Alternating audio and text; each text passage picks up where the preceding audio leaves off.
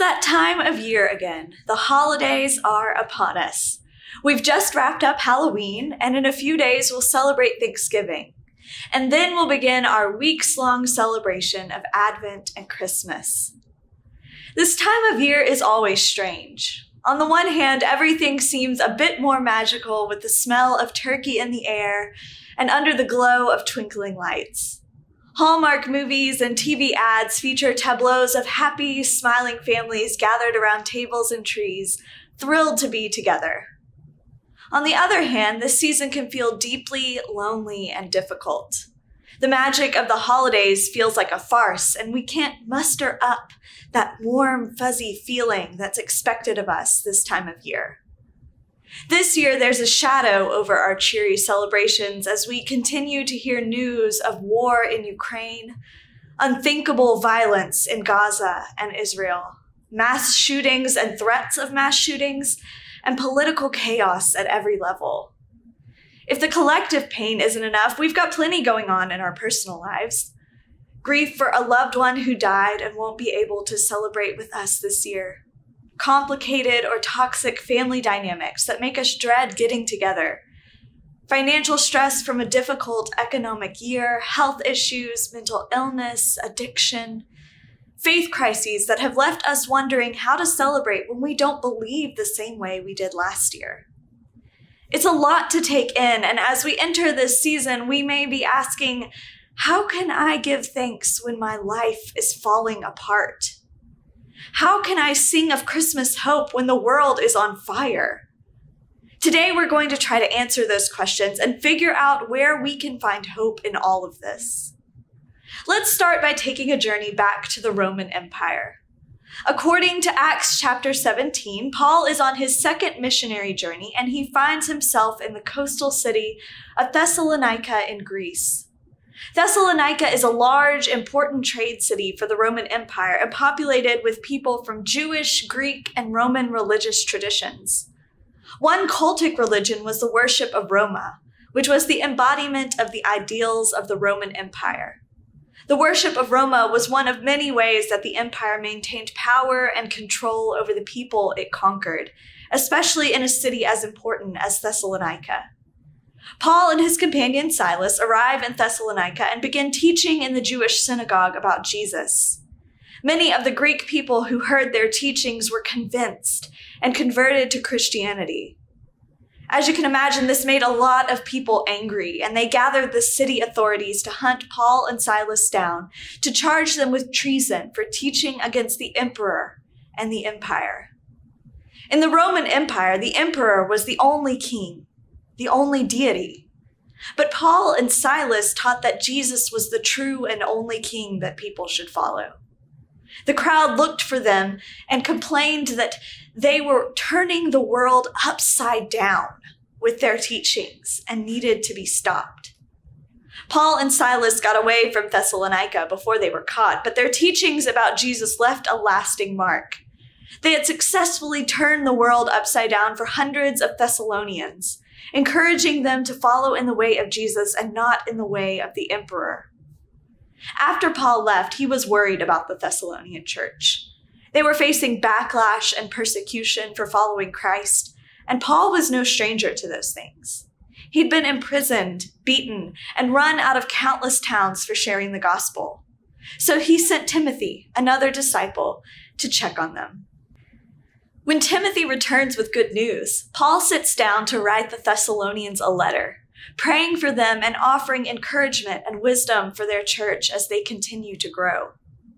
In 1 Thessalonians 1 2 through 3, Paul writes, We always give thanks to God for all of you and mention you in our prayers, constantly remembering before our God and Father your work of faith and labor of love and steadfastness of hope in our Lord Jesus Christ.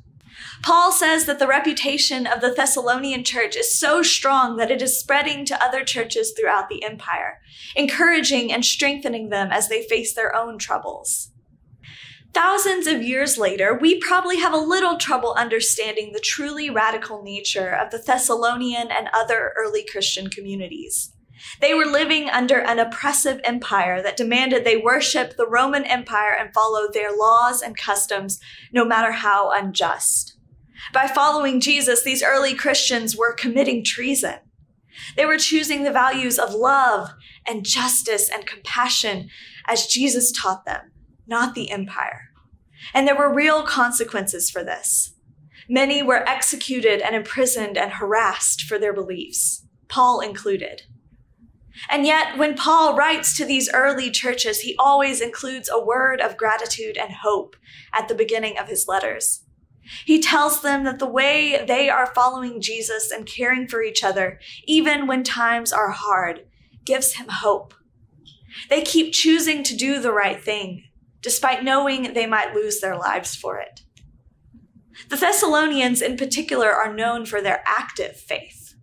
Paul gives thanks that their faith inspires their work, their love inspires their labor, and their hope in Jesus inspires them to keep going. They are taking care of the poor and making sure that everyone has what they need. They are spreading the message of Jesus to other people. They are resisting the ways of the empire, which values power and money over human life. Though most of us here today are not experiencing the violence and persecution that Paul and the Thessalonians did, we still have a lot to learn from them about gratitude and hope. First, they did not dismiss the reality of their pain and suffering. Paul acknowledges that he has been worried about them because he knows that they are facing real challenges and danger for following Jesus. Paul acknowledges his own very real suffering. We don't have to pretend everything is perfect or even just okay to find gratitude and hope. Joy and pain can coexist. For those of us having a hard year, we can be honest about it as we enter the holidays, even if just with ourselves. And for those of us who are actually doing pretty well, we can celebrate this season and still acknowledge that the world is in turmoil. Second, Paul found hope when he heard about the way the Thessalonians were living out their faith by caring for each other. He found hope in the way they loved and said it filled him with gratitude.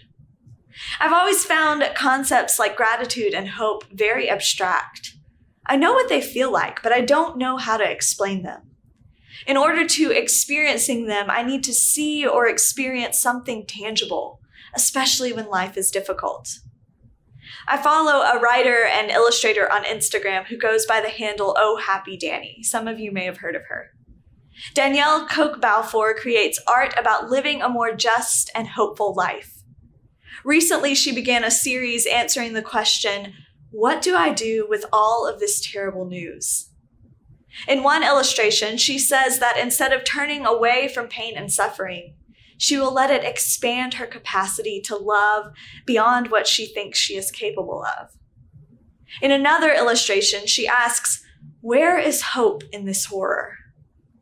Hope is the doctor holding the hand of a trembling patient. Hope is the smile of a cashier in the checkout line. Hope is protest. Hope is prayer. Hope lives in the keepers of light, those renewing our faith in humanity, who in doing their good work bear the image of the invisible God. Both Paul and Danielle remind us that God's presence is evident when we show up for one another when we care for people who are suffering, when we speak out against violence and injustice, when we share a meal with people who are hungry, when we open our homes and our arms to each other in good times and bad. We can have hope and gratitude that God is still working, that humanity is not all bad, and that things can and will change. We can have hope that we don't have to go through hard times alone. We can have gratitude for the people who keep showing up, who keep speaking up, who keep loving even when it's hard. This congregation gives me hope and makes me grateful all year, but this weekend has been a particularly special one for us. On Saturday, volunteers distributed your Thanksgiving bag donations to several hundred local families in need of food. Youth and adults volunteered for our largest buddy break since before COVID, serving 16 kids with special needs and giving their families some respite time. And even more volunteers helped prep the supplies needed for our Sunday Build a Bed event. That's right. Today, volunteers of all ages will be in our gym building 25 beds for JCPS students. There are 6,000 JCPS students across every school that experience home insecurity. These beds will make an impact for those students by providing them with a safe, comfortable place to sleep. I'm grateful for the ways you consistently show up for people. This congregation has made an important choice not to be complacent or self centered. We've decided to take Jesus seriously and do the hard but important work of loving other people in real and tangible ways. We've decided not to accept suffering and injustice as the status quo and instead work to alleviate it and change things. We're not perfect at it, and we're constantly learning and growing, but we're trying. And that gives me hope because I see that God has not abandoned us. God is still working and is very present here. This is how we have gratitude and find hope when it feels like our lives are falling apart and the world is on fire. We give thanks for the people who do not turn away from suffering and injustice but show up to help. We give thanks that there are ways for us to make a difference, one small act of love at a time. We find hope that things can change, that suffering and evil will not have the last word. If you need some hope and gratitude over the next few weeks, I invite you to try a couple of things. First, like Paul, take some time to give thanks for specific people in your life or in the world. You can tell them, sure, but you can also just name them for yourself. Think of people who have been there for you in the last year, moments when you saw someone making a difference or ways that you have grown and changed. Revisit that list when life gets overwhelming or when you feel hopeless. Let it be a reminder that there is good in the world and in your life.